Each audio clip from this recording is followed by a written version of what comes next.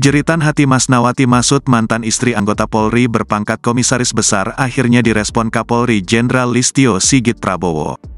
Diketahui Mas Nawanti meminta bantuan Kapolri terkait kasus perselingkuhan mantan suaminya berinisial EHK dan seorang diduga artis terkenal diduga Meli Guslau. Adapun Mas Nawanti Masud membuat video lewat akun Instagram di @masnawati garis bawah Masud ternyata mendapatkan tanggapan dari Ornak nomor satu di Polri tersebut. Ia Kapolri memberikan komentar di video dengan siap berjanji mengecek kasus yang disampaikan Mas Nawanti Masud. Terima kasih informasinya Bu, akan kami cek bagaimana prosesnya, tulis Kapolri Listio Sigit Prabowo lewat akun Instagram Centang Biru, Rabu, tanggal 10 Januari tahun 2024. Respon Kapolri tersebut lantas dijawab Mas Nawati Masud dengan ucapan terima kasih.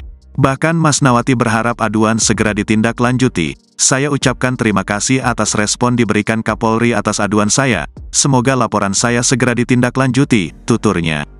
Sebelumnya, Mas Nawati Masud mengemis meminta bantuan kepada Kapolri Listio Sigit Prabowo. Dilansir dari akun TikToknya @pancamasna pada Rabu, tanggal 10 Januari tahun 2024, Mas Nawati Masud meminta Kapolri Listio Sigit Prabowo untuk untuk mempertemukan dirinya dengan sang mantan suami dan Meli Guslau.